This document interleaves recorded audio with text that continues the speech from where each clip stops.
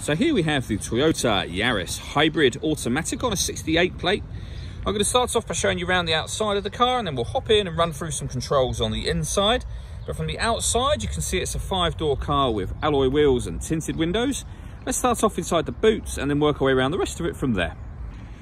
So as we approach the boot, you'll see that we've got plenty of space in there, along with that 60-40 split folding rear seat, should you wish to increase that space even further. Okay, so we're just going to work our way back round to the front of the car and then we'll hop in and run through some controls on the inside. Now that we've done a full circle of it, you can see it's in excellent condition the whole way round. Just briefly before we climb in, I think it's well worth seeing the interior from this exterior point of view. There's plenty to run through on the dashboard, so let's hop in and we'll do that right now. Okay, now that we're inside the car, we're going to start with the dials. On the right-hand side, we have the speedometer and fuel gauge, and on the left-hand side, we have the kind of charge uh, meter. There's a video actually on our website and on our YouTube channel that shows how uh, this works, how the, how the hybrid technology works, but you can see when your vehicle is charging, when you're using the eco mode and the power band for the car just there. In the center, you can see the total miles are 12,308. You can change information that's displayed above that by using buttons on the steering wheel. You can, for example, have that digital readout for the speedometer you see being displayed there, as well as lots of different bits of trip computer information. Uh, and to go through that uh, information, you just use these buttons here.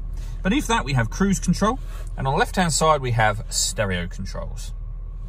Over in the center is the stereo itself. So there's a few buttons down each side, but essentially otherwise it is touchscreen. You can see that we have AM, FM and DAB radio as well as Bluetooth audio. And on the next screen, iPod input and USB input as well. This car's also got a full color reversing camera with guidelines showing you what direction it's headed in in relation to the image that you see on the screen. Working our way down from that, we have dual zone climate control, so you can adjust the passenger and driver temperatures, the fan speed up and down from here. You can determine where you'd like the air to be distributed using this button here. When you're happy with those settings, that button turns the air conditioning on or off. It's on at the moment, so off, back on again. Or you can hit auto, and the car will now maintain those temperatures by taking full control of the fan speed for you. You can override that at any time you wish to. Beneath that, we have a 12 volt charging socket, USB input and auxiliary input. We then have the gear lever for the fully automatic gearbox. And down here, we can turn off traction control. We can put the car in eco mode. This button will force it into its electric mode if the vehicle has enough charge. All that leaves me to say is thank you for taking the time to watch this video. If you'd like to come and see the car in person and have a test drive, please feel free to call any of our MJA sites. We'd love to hear from you soon.